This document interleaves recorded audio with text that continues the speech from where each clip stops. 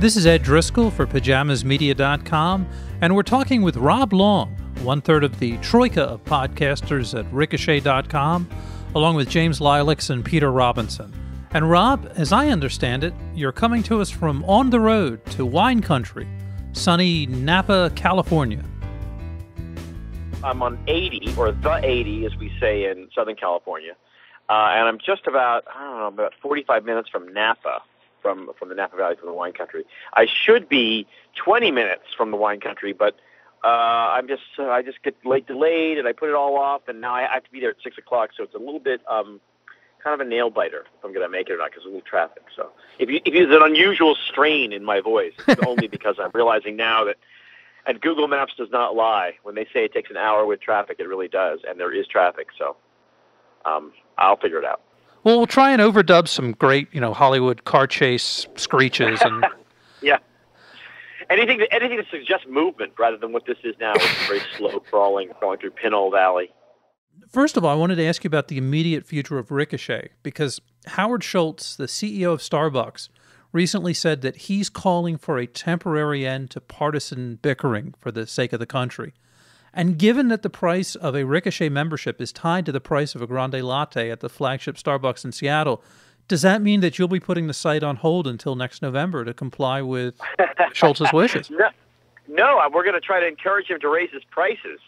Um, even now, we're starting to think of like, well, maybe we made a terrible error because they, they don't seem to be going. Uh, the prices don't seem to be going up as north as, as quickly as we wanted them to.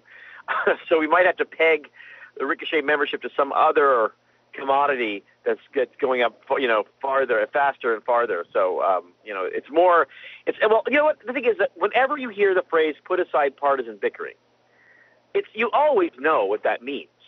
That means do what we want. Just shut up and do what I'm telling you to do. It doesn't mean. It, I mean, you, people when people disagree with you, you tend to think of them as bickering. Um, I, I like partisan bickering. I don't think it's bickering either. I think these are, these are principal. For the first time ever in a long time, these are principal disagreements. I mean, you know, Howard Schultz is the guy, he's a billionaire who lives in Seattle, who thinks, um, like uh, Warren Buffett, that uh, uh, that the, the small business owner and the the small taxpayer should just roll over and let this all happen, and he's he's mistaken. Anyway, is that enough of a rant for you? I mean, that's that's whenever I hear that, I, you know, you're not it's never partisan bickering they want to put off. It's it's actually actual disagreement. And I think it also implies that whoever calls for the end of partisan bickering is losing the argument. Oh, exactly, exactly, right, exactly. And and notice notice now we're hearing more about partisan bickering than we ever did when Bush was president, and we're hearing more about how well maybe the job of the presidency is something broken in our constitution more than we ever heard before. Uh, when, when a liberal starts failing, then they start uh, worrying about the institution of partisan bickering. Back in July, we spoke with Ben Shapiro about his new book, Primetime Propaganda, in which he discussed the longtime liberalism of the television industry. And what's your take on the liberalism of the medium? And we know that you yourself, you know, you're a far left radical chic kind of guy. But but what is it like for someone on the starboard side of the aisle to work in that medium? I, I take issue with some of what Ben Shapiro suggested. I mean, the stories he collected of people not getting hired or people, um, you know, uh, uh, not getting work or projects being passed on. I mean, I can't gainsay that. I, if, if that happened, that happened. It's never happened to me. I mean, that I know of. Uh, whereas the opposite has happened. I can think of. I mean, I could probably. I mean, I could think of of, of opportunities that I've had from liberals precisely because they know me as a conservative. So yeah, they, they wanted maybe I want they wanted cover or they wanted that perspective or they wanted something. So I've actually made a little bit of money from by being a conservative in Hollywood. Just I'm just speaking me personally. Other people have different have had different experiences. Where I sort of disagreed with the book a little bit, and I like Ben very much, and I like the book very much. But where I disagreed with it was in this sort of this all-in kitchen sink attitude about what con- what constitutes liberalism. That you know he tried to actually make uh, what I thought was like you know a cockamamie uh, a, a point that um, Cheers, the TV show Cheers, which I worked on for many years. I mean, I was the executive producer of it in the last couple seasons. That that was somehow a liberal show, which is just nonsense.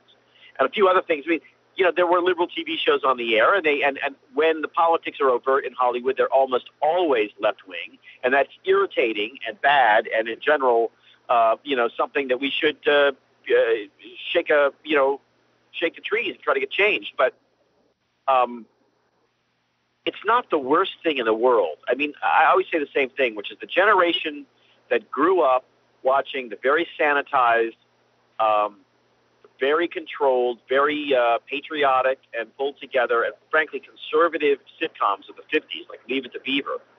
That generation grew up to riot in the streets in the 60s. And a generation that grew up watching the very left wing, very political, very partisan sitcoms of Norman Lear, like All in the Family, well, they grew up to vote for Ronald Reagan. So, you know, you can take these things too far. One other question about primetime propaganda. In the last chapter of Ben's book, he describes the television industry as witnessing the rapid growth of the internet and really seeing the handwriting on the wall. How does TV adapt to the endless long tail of the internet and a fractured pop culture?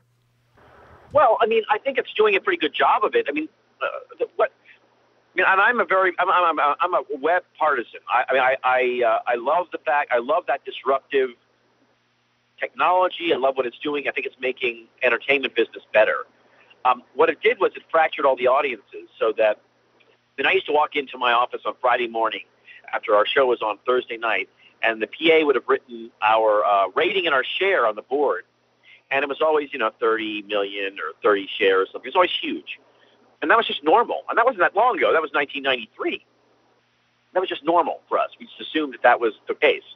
And what the web has done, and what a lot of other things have done, video games especially, the, the, the multi-purpose, uh, uh, the multi-purpose applications of that screen in your living room, right, just in general, and the fact that everyone has a big screen and a little, a series of little screens that they can uh, pay attention to. So not, not only the, the TV, but your laptop and your phone. And if you've ever been around anyone who's 20 or under, um, they don't ever watch TV without the phone or the laptop open. If you've ever uh, you talk to anybody 30 and under, a lot of them don't have televisions and see no reason to get one.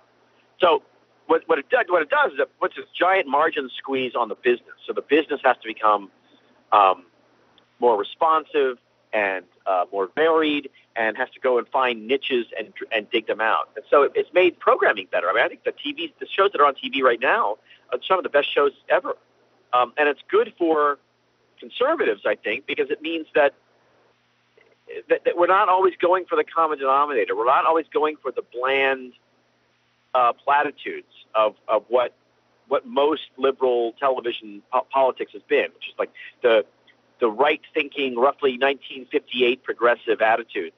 We don't have to see anymore because uh, the audience doesn't have to be that big. You know, we don't have to go for the, the bland center, which I think is great. I mean, we should be celebrating that. That is uh, the best news possible.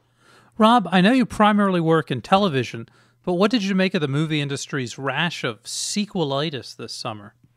Well, I mean, it's you know, it's exactly the problem, the other side of the problem that you mentioned with the web because when the margins get squeezed, right, so the top number that you can make in a movie starts to get smaller and smaller and smaller, the the TV the TV business says, okay, if that's the case, then we're going to make a lot of we're going to make smaller, nichier uh, television shows, and if we get a million viewers or two million viewers, we'll consider that a success. Feature films can't operate like that because they just they just can't they can't release that many pictures. It just costs too much money. So what they do is they release fewer pictures. I mean, Paramount is going to release 10 movies this year. Um, I mean, uh, uh, film production and distribution in Hollywood is down, I don't know, lot, I mean, huge. Um, and so if you're only going to release a fewer number of movies, you want the movies you do release, you want them to be, you want to hedge your risk. You know, you don't want them to all be these one-off, this might work, that might work kind of movies. Because remember, the, the, the, the all of show business, and probably every other business too, but I only know show business, is governed just by fear, right? They don't, they, they're just afraid. And they come in the office and they sit at their desk, and the first thing they feel is this horrible nausea and fear in their stomach. And they're looking for a way to make some money in, in the entertainment business, in the movie business especially, but not risk anything, which, you know, we all know is impossible. But what they, tr- instead of like just embracing the impossibility of that, what they do is they say, okay, well, everybody loved Iron Man, so I bet you there, I bet you we can shove Iron Man five down their throat. And at that point, you start saying, okay, well then I can spend a hundred million dollars on a movie. And remember, you spend whatever you spend on a movie, you've got to spend at least double that on prints and advertising, so the release, the P and A costs or the release costs, right? So, you know, a hundred million dollar movie means you have to spend another hundred million dollars to market it. And if it's Iron Man four, well, you're probably going to get your money back. You know, that's a, you you probably you probably do okay. Um, and so that's that's it's just that's the problem with the big studios is that they have this terrible business model that is the least flexible, least nimble thing ever, and they're just grinding out these sequels. And um, I mean, it's working, right? They shrunk, and it's working. This was a good summer. Uh, box office numbers were up, but number of total number of viewers was down. So fewer people went to the movies, but they paid a little bit more. The movies made a little bit more money across all of their ancillary markets. So, you know, if you're in the movie business right now, you feel like you're doing okay. But, but you can read the handwriting on the wall. I mean, business is it's killing itself, uh, just killing itself slowly. And does that explain why something like Battleship, the motion picture? yeah, right. You, you, bought the game, now see the movie. Gets greenlighted. Yeah. The, the, the, the title was greenlighted. They didn't have a story for that movie. I, mean, I think it's coming out in the summer. I mean, it, it, and everybody's talking about that. I mean, even people people in Hollywood all think that that is crazy. But but if you're the studio, you're like, well, we're going to make a big disaster picture or a big CGI picture for the summer for holiday release.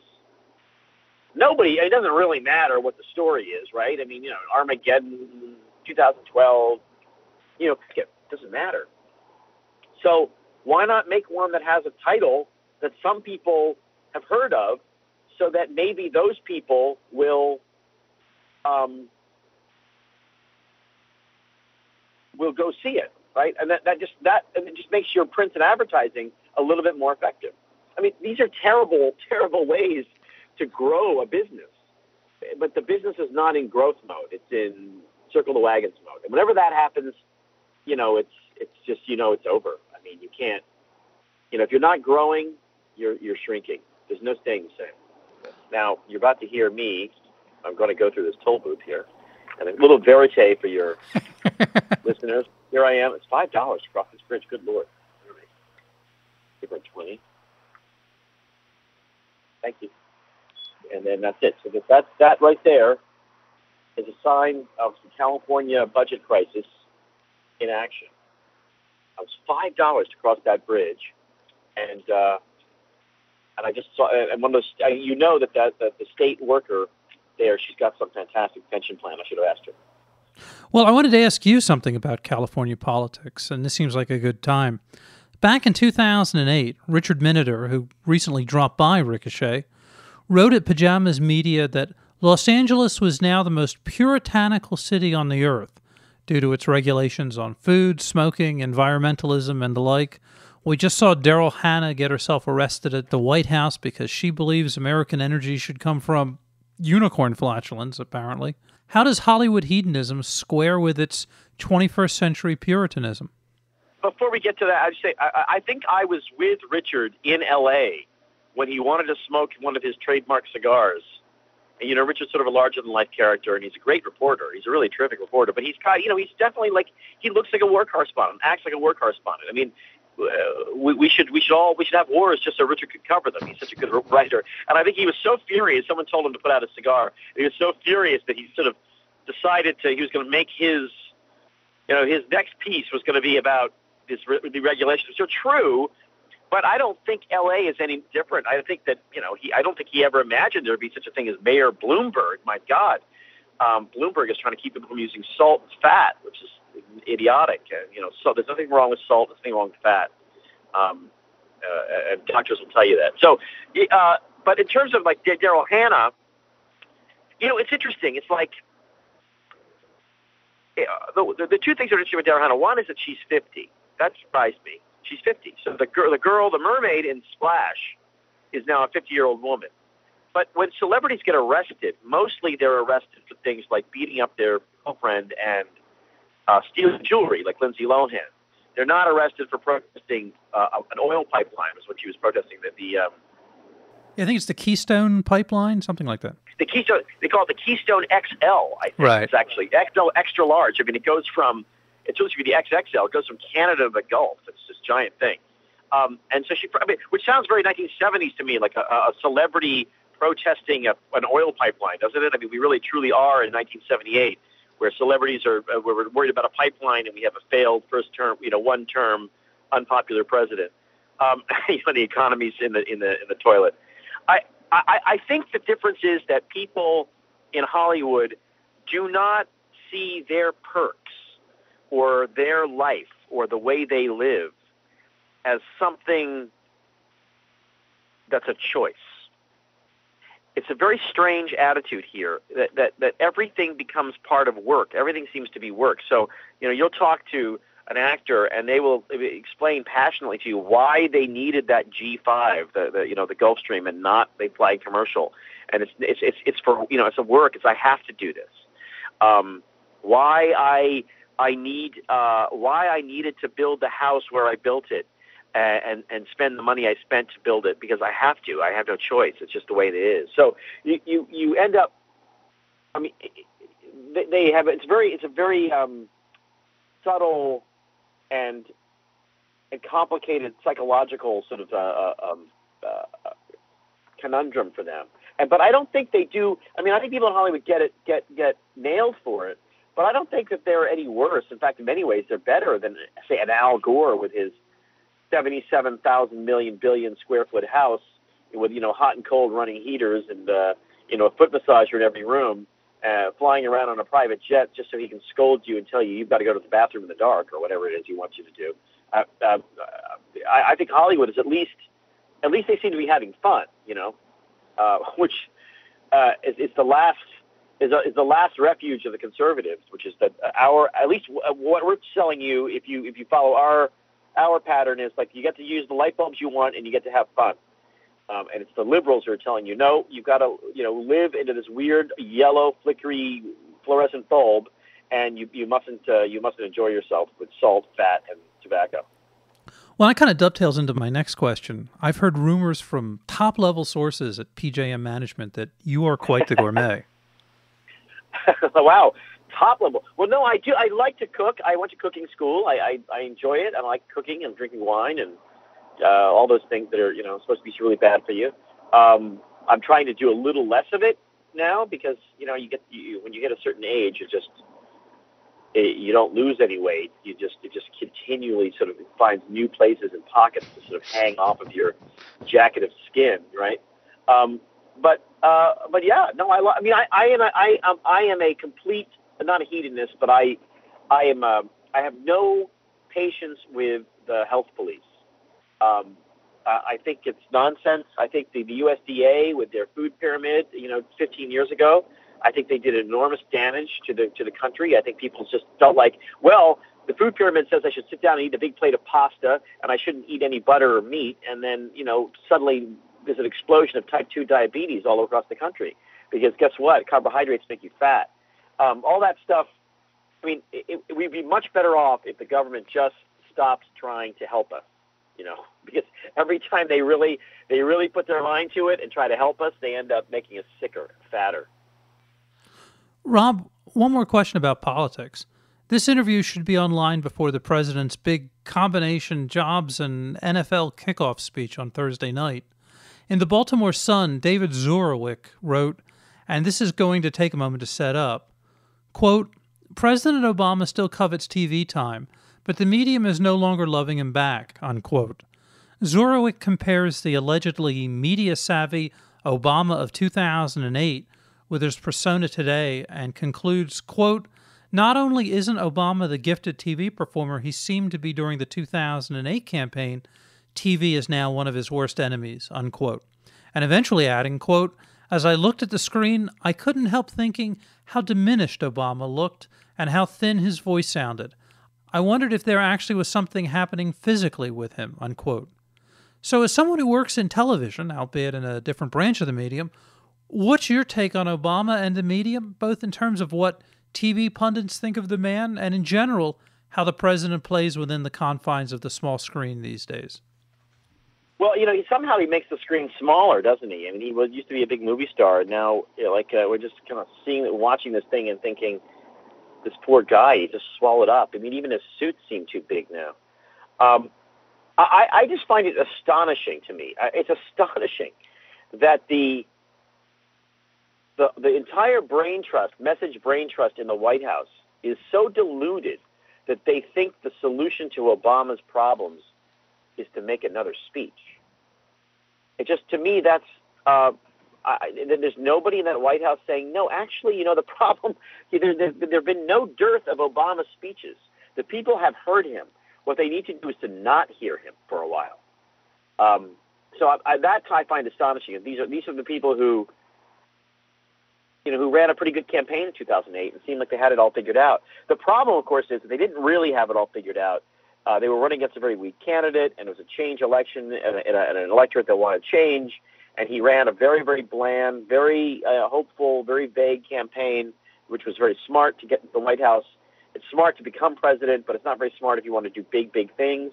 So what it meant is that he had to come continually reappear in front of us to convince us to do the the stuff that he kind of implied he wasn't going to do, the, the, the, big liberal stuff.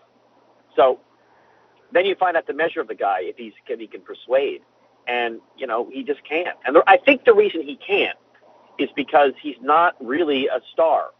Stars like people. Stars have uh, charisma and warmth and you want them to like you and you want to do something for them and they look they seem human they seem like you, they care about you in a way that they, they not not that they care about you whether you're happy or sad i mean most movie stars don't care about the audience that way but they care about having you like them they they're they're empathetic yeah and, and they feel and, and, and they and you feel their need right i mean bill clinton if you've ever been in a room where bill clinton was in the room I mean, you could close your eyes and you knew where in the room he was just from the electricity that he gave off. And it wasn't electricity because, I mean, an enormous amount of charisma. The guy shakes your hand. It's like you're getting zapped with 10,000 volts of synthetic charm. I mean, bang, you just feel it. And and it's because he needed you to, to like him so much. And that ultimately is what a successful politician is, a very needy person. I mean, LBJ was that. And it happens when they when you've had a big career in politics and you've had some ups and some downs and you've had to go begging to the voters once or twice and you've had you know what uh, we call you know a crap sandwich once or twice. Um, you you you just you have a humility and a and an ability to connect with people that is born you know creepily from desperation, but it's in fact very effective way to govern and and the more we see Obama, the more we realize he doesn't give a damn about us. He doesn't think we're smart. He doesn't think that we need to, uh, uh, that we have uh, a, a valid perspective. He doesn't want to compromise. He just wants us to shut up and do it. He, he's, uh, you know, he's, he's exactly the president that you get if you elect, you know, a political science professor from fancy college. They don't really like politics. They don't really like people. They don't like voters. Uh, they just want us to shut up and take it. And, and people, they just feel that instinctively in the small screen. You know, they, TV does not lie. It just doesn't. You can't lie on television. It's too intimate. And you see him standing up there, and you realize this guy is completely unlike you and every other voter, and you can just feel the energy and the enthusiasm drain away. It just you can just feel it. Just watching it, you can feel it, and it's there's nobody home. And I think I think we're discovering that, you know, every week, every week. And and then all this noise you hear, this noise about the speech he's giving in a in a week.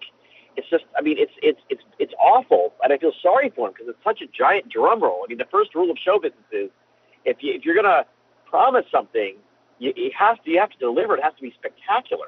You know, the drum roll, the end of the drum roll has got to be a real fanfare. Um, the old story about, you know, if you have a loaded gun on stage, that gun's got to go off uh, or people feel cheated. And we know exactly what his proposal for his jobs proposal is going to be. And it's just, it's going to be one more thunking, thudding piece of nonsense, uh, rehashed 1970 style Keynesian nonsense. Uh, he's still trying to feed us big government, you know, uh, big government porridge, and everybody's turned away. Everybody's decided they don't want that. Um, you know, this is the lost Walter Mondale administration, the lost uh, George McGovern administration. You know, uh, uh, Obama feels to me right now like he's like from another era. like he's from the past. You know, he just feels so old to me. All of his solutions are so old. They're all about government and big unions and all the stuff that most Americans have just kind of like they're done with. So I don't know. That's a very long rant, but I, I really do feel like like Americans are done with him. They're just done with him. Well, if you were advising the GOP or if any of the Republican candidates tune into this interview or they hear you at ricochet.com, what advice would you give them for 2012? Well, I mean, I think that they uh, they should not count their chickens um, because uh, you know there's um, the rule of politics is anybody can win, even the guy who's about to lose, right? So everything everything can happen, anything can happen. I would say, um, I, I mean, the, you have two totally natural impulses, right? One is let him let let this guy kill himself, right? Let him continue to support these you know nonsense bad policies. Let him continue to push his uh, retreads from the 70s and just watch his negatives go up and his popularity drift down until he's really super vulnerable. Don't do anything. And then the second other, you know, the corollary to that is, and then all, and, and for your for your part, if you're the candidate, don't say anything. Don't don't propose anything. Don't get specific. Just let it happen. I think that's a mistake because I think that whoever's president in 2012 is going to have some very, very hard things to do. And he's going to have to take away some goodies. He's going to have to trim um, the uh, entitlement programs pr- pretty severely. He's going to have to redo the tax code. Uh, there are going to be a whole lot of Americans who aren't paying taxes now who are going to have to pay taxes. And there are going to be a whole lot of Americans who have an allegiance to our current tax code, our you know 18,000 page tax law, and have found a million different ways to profit from it. And those are people who are going to be disappointed too. So I would be as specific as possible. I mean, I, I would vote tomorrow for Paul Ryan. Uh, it's a, it's a, I think it's an embarrassment for everyone that the most serious, cogent, careful, detailed proposal for really saving, literally saving the country, was written by a congressman from Wisconsin who's not even running for president. Um, that's a bad. It's bad. They should jump in. I mean, I actually, I mean, I'm not a Jon Huntsman fan, but I, I think he gets a lot of credit for proposing, for putting up a real proposal for the future, of, you know, of, of a competitive country. Um, scrapping the tax code and the tax system right now, I think is probably the best thing you could do. So I don't know. That, that's my advice would be counterintuitive. Uh, say something real. Say something real. Um, and, uh, and, and, and, and, and, and persuade. And if you can do that, then if you do, you're lucky enough to take the oath of office in, in uh, 2013, you'll be way ahead. You'll have something to say. Okay. Well, this is Ed Driscoll, and we've been talking to Rob Long of Ricochet.com, who is off on the road to Napa. Although apparently Bing and Bob, I guess you're meeting Bing and Bob when you get to, to Napa. Uh, yeah, I, the traffic just kind of lightened up, so I'm making good progress. So I actually might, there's a, there's a chance I will make it by 6 o'clock tonight. That would be, it'll make everybody happy. I'm going to a wedding, and the rehearsal um, is at 6. So the, the bride um, will be much happier to see me there at 6 o'clock than she would be to see me there at 6. Um, I know enough to know that brides get tense right around now. Well, Rob, we will let you put the pedal to the metal and get back to driving. And thank you once again for stopping by pajamasmedia.com. Enjoy the wedding.